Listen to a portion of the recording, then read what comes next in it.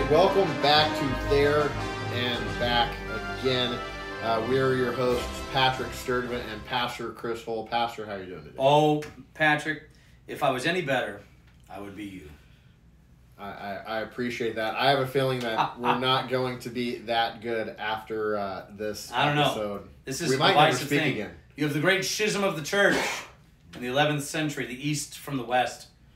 Had the Reformation. Some say the breaking up of the Una Sancta, even though the great schism was before that. Luther, Rome, you've had the great divisions. You've had the Civil War, the North, the South. Some call it the War of Northern Aggression, even. You've had division, World War One, World War Two, but now this conflict could This might be beat it. This might be it. the greatest of all time. What do you think? Oh, here's a better yet. Did your life get better this week? Pastor Hull, I can't stand Christmas music. I love Christmas music, Patrick. I don't care what you have to say, not just Christmas hymnody. Yes, I love singing. there are no, there are some fantastic Yes. Christmas hymns. yes. I think that's its category unto its own. Different thing. yes. So we're not talking about Christmas hymns. We could sing from heaven above to earth I come. I'll sing O Come, O Come Emmanuel O Come, Emmanuel. I have no voice. Yeah. That So- that does not count. No. Yes. I hate Christmas music. So we're talking about like pop radio, music. pop. radio, pop music. So you can tell a lot about a person, and you think, what does this have to do with going from divine service to divine service? The reality is, right now in our culture, wherever you go, there is Christmas music. You go to the store, Christmas music. You are in your car, Christmas music. You go to the barber. We have to redo it. Oh no! Man, fun times. I don't know why it does. It goes It's eight like bars when and Pam, it had, stops. Pam does the redo for Michael every time. Good ding dong. Still me. All right. Hello, David. It was a minute. Okay, we're gonna redo that. That's too funny. We'll we'll get it going again. That'd be fun.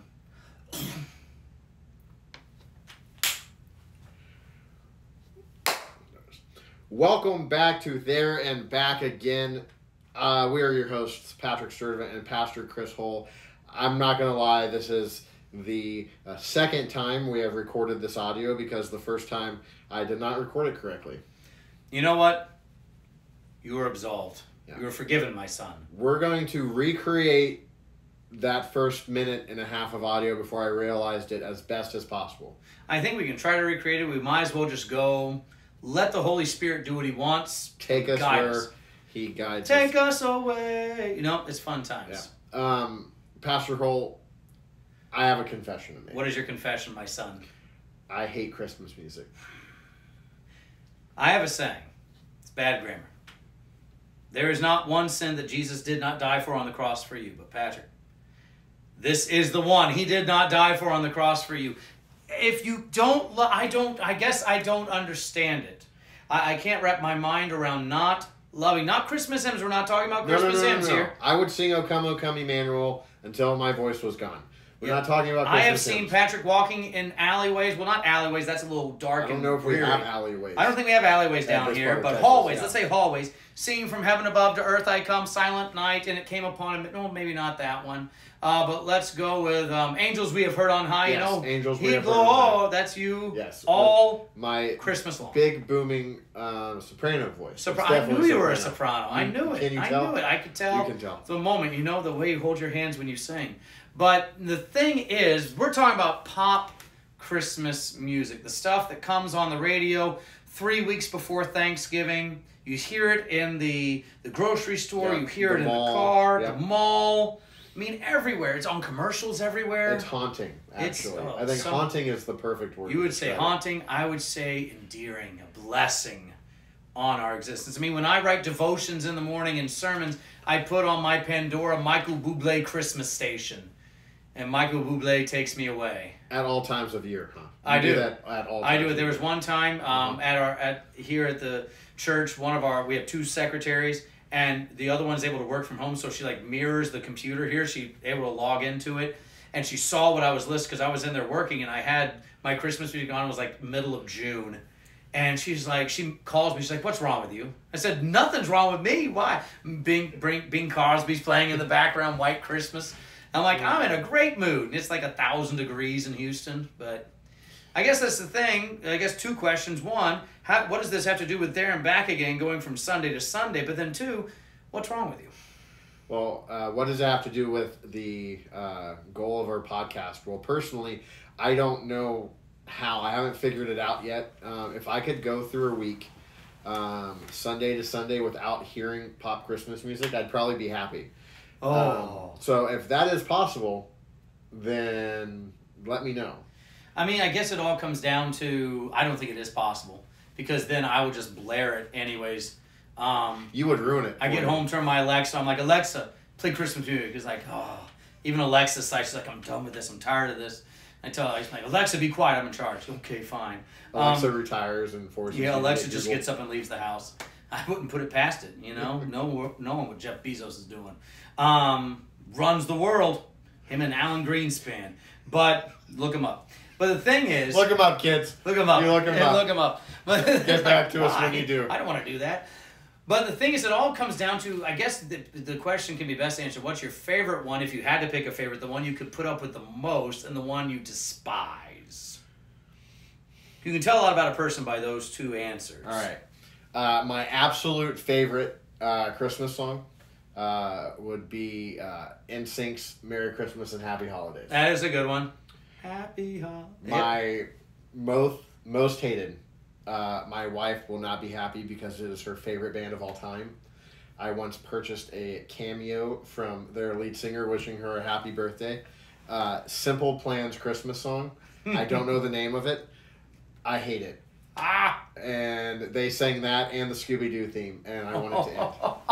I love it. I worked in an establishment uh, for uh, over a decade where the primary music was 50s music, and that I was able to tune out because Yep. I heard it all day, every day. Yep. You get used to it. But for two months out of the year, out of the 12, you're listening to that pop music uh, Christmas Oh, station, and it just never, never ends. There's such a variety of them. You know, you go through many because you have the traditional stuff. You have the Dean Martin, the Frank Sinatras, the Bing Crosbys. You know, Let It Snow, White Christmas. Um, you know, all those good ones. Semi redeemable based on who they were created by. yeah, so you got like the old school Rat Pack good stuff. You know. And then you have the Do you hear what I hear? You know, you got that stuff. You know, it's the most wonderful time. And it is the most wonderful time of the year. Well, it is, You but I, I don't I need. tell you. I don't need Mariah Carey to tell me that. Oh, I need Mariah Carey. My wife hates that song. All I want for Christmas, you. She, my wife hates it, and every time the year starts, well, uh, obviously for me it's in June. I just keep it going now all year long. I don't care. Um, I blare that for her. I think it was Adriane um, Heins also hates that one too. She was the editor of Luther Witness for a while. She hates that one as well. Um, but I think it's fantastic. Not my favorite though. My favorite is by the the British um, glam rock band Slade. I listened to this for Did you. Did you hear it? I did. I listened to this for you. What'd you think, man?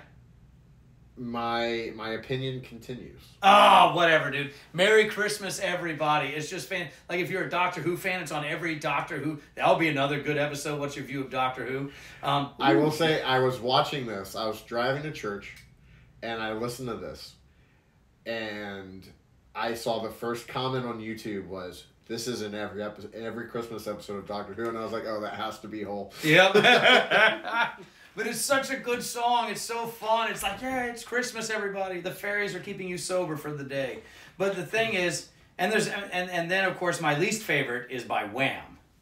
You know, last Christmas I gave you my. heart. Oh, I don't think man. it's necessarily just Wham. I think Oh. that song's probably been done by eighty-seven oh, different oh, artists. It's been done by everybody but Wham. Oh, just I, I can't do it. It was in Ted Lasso's episode, It and I liked that. It was. That's the Fairy Tale of New York's another good one. Have you listened to that one? No, you can recreate it here. For Pixies, me, that's good, you know. Um, bells are ringing out on Christmas All Day. right, that yeah, one. okay. You know, Fairy Tale of New York. That's a good one. So, what forces an artist, do you think, to record a Christmas song? Money. Okay. Money, big time. I- I- Why I it was is just is making because sure it's every year. It's not just one song that you did one time. It's every. There was a, a movie called About a Boy, Yep. starring Hugh Grant. Yep.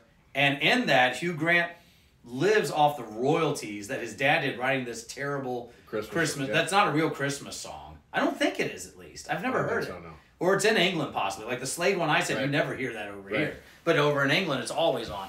But the thing is, he makes the royalties and, and he hates it.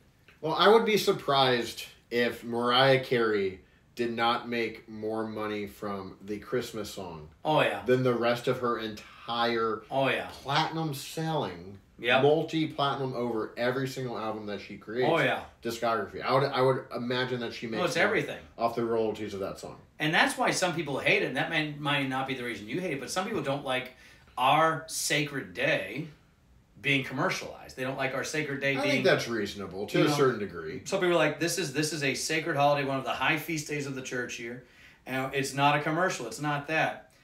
But at the same time, if if we were in a in a culture that embraced and celebrated Christianity and the pop songs uh, that we heard were embracing the true Yeah. point behind Christmas and the actual sacred holiday, I would probably still dislike it. Yeah. And what's your reasoning for it? Besides having to hear it for two straight months when you worked. I mean, I don't, I don't. Do we have to turn the cameras off? Is this a counseling session? It might now? be. It grinds something in the core of me that ah. just I, I I don't know why. I think for the same reason that so many people inexplicably love it and they turn it on and it makes them oh, happy. Oh man. For some reason, like I have great memories of Christmas. Oh yeah. So it's not that I dislike. it's not like it's a, like a traumatized Right, childhood or 100%. something. no, you know, no, no. I just Paul can't- McCartney simply having a wonderful Christmas time was on when the oven wouldn't work and the electricity went out. You know that didn't happen. You know. No, no. I just for some reason just the the commercialized Christmas music just really want Yeah. really it grinds my gears. It grinds your gears. Yeah. It jacks me up. And it grinds, and I, I would say if we put a vote to it, I'd say the majority of people it more grinds the gears than excites. And oh man, I don't know. I don't know, that'd be an I interesting just poll to it do. would be because it just seems like so many people love when Christmas music. I know Yeah. more people. Yeah. I know maybe a handful of people who dislike pop Christmas music. Yeah. I know way more that actually enjoy it. Oh yeah. Well, I, I love them. You can just start naming the songs. Like my son's, he hates um Santa Baby. He hates that one. Yeah.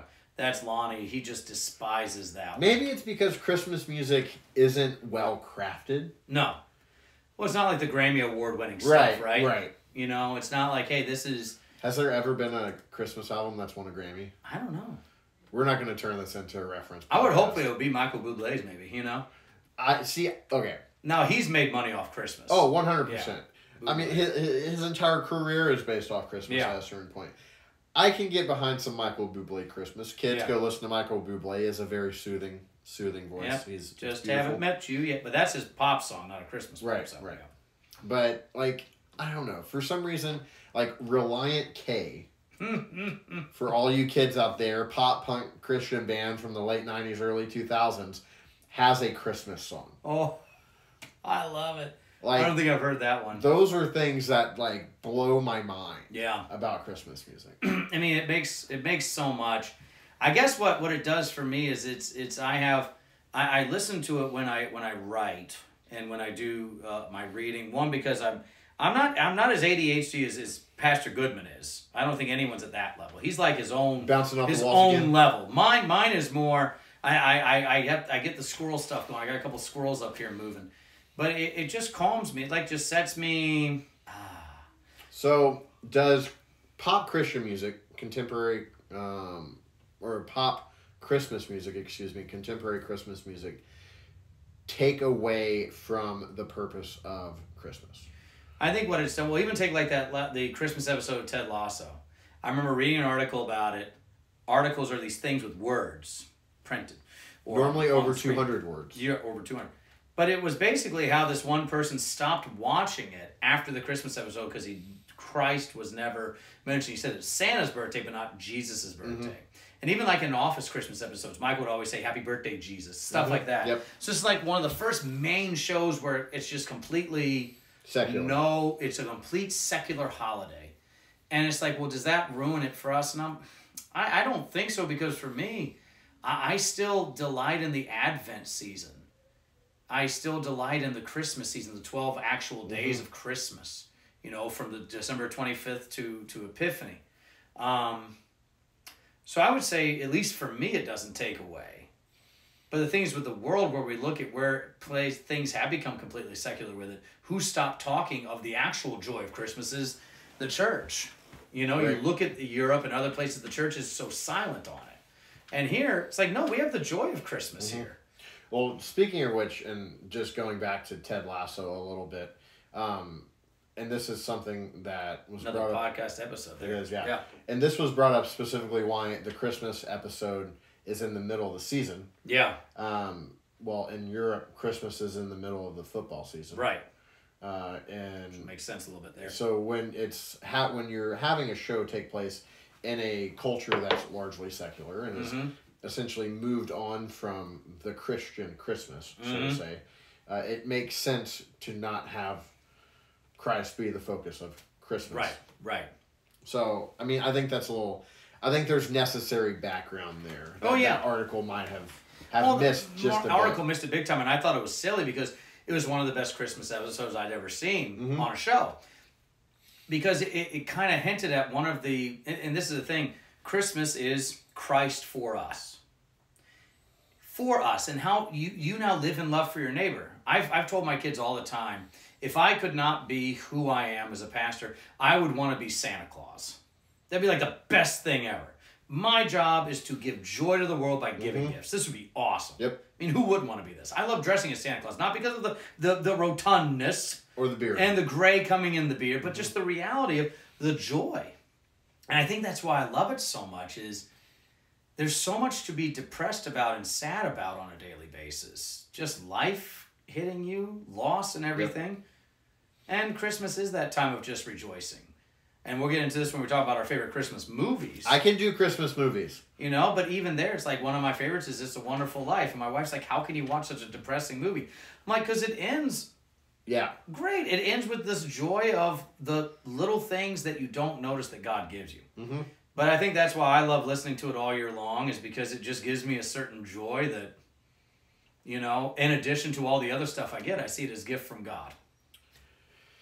Even Mariah Carey. Even Mariah Carey. So, looking at the calendar, today's episode is going to air on the 27th. So we'll definitely have it then. Definitely have Christmas. I think that gives me uh, three weeks, four weeks to try it out. Try it out and see what happens. We'll have to do a reaction episode. I make no you know, promises. See how you do.